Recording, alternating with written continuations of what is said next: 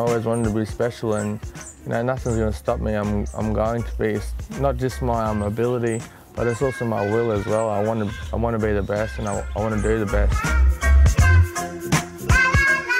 With a confident swag and raw talent to match, 21 year old light heavyweight Damien Hooper, or Super Hooper as he's become known, is a man punching, ducking, and weaving his way to boxing glory.